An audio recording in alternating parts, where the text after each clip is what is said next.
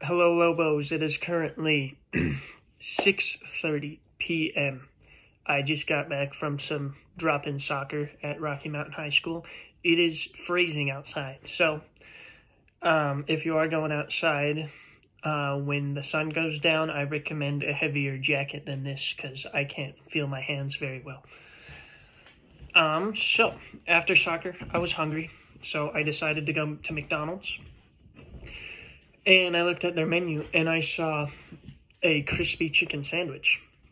It was like highlighted the big ones in the promo section, and I was like, wait, McDonald's has chicken? I didn't know this. I knew they had that filet o fish thing, but that looks gross, so I don't think I'll try that. But I went ahead and got the buttermilk crispy, they call it. I usually get two cheeseburgers and a large drink for the easy price of $3.63 over at the one on Harmony and College. But I wanted to try this chicken sandwich. And I got a large drink with it as well, a Coke.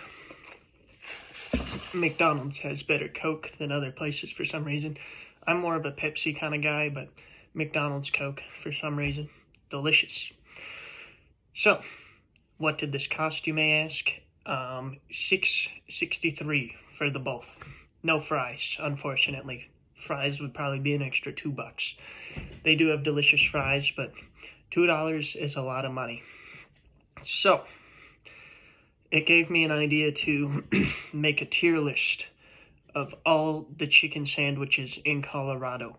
So over the next few weeks, I will be eating this one. I'll try Chick-fil-A. I've had that one many times. Love it there. Haven't had Cane's, the sandwich. I usually go for a box combo, but I will try it. If KFC has one, I will try it.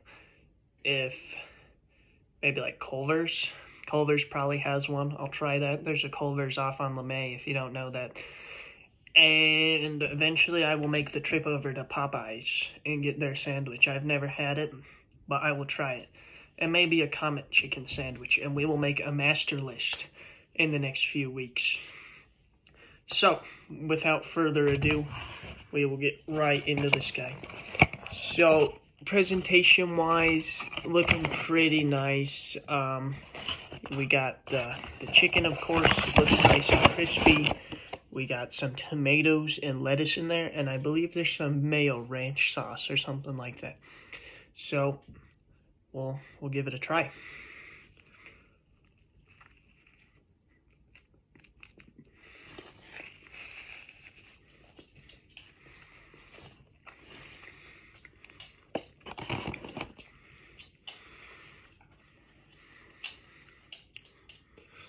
Mm. You know, that caught me by surprise, actually. I thought that was going to be a lot worse. I thought the chicken wasn't going to be moist at all because I hate dry chicken. Dry chicken might be top 10 worst food in the world. Dry chicken is very disgusting. Dry poultry. Or like dry pork. Dry anything. Unless it's like a Slim Jim or beef jerky. But to my surprise, the chicken had a nice crispy, salty outside. Um, kind of reminds me of KFC's chicken, that flavor. And the sauce, the lettuce and the tomato, great, great addition to that bite there. Um, I wish the bun was a little crunchier. I like toasted buns usually, but it's McDonald's. Um, what are you gonna expect? But so far, this McButtermilk pretty delicious. I'm to go ahead and take another bite.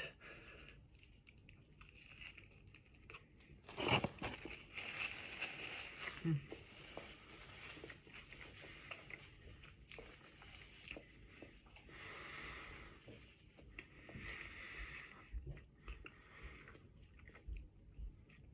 You know, this might beat Chick-fil-A's just because of the sauce.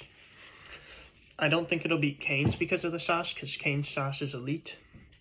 But this is a great start to this chicken fest we're going to go on. We'll call it Chicken Fest. Um, hmm. Yeah, very surprising. Um, it probably tastes better than my normal two cheeseburgers and a large drink, but it is double the price. You gotta think of that financially. I am, I I I enjoyed those two bites. I'm gonna rate final final rating for this seven point five out of ten. So we are hitting the five minute mark. I know you guys probably have things to do, so I hope you all have a lovely week, and we'll see you next week for Chick Fil A and Canes. I'll probably mix into one video. Have a good week, Lobos.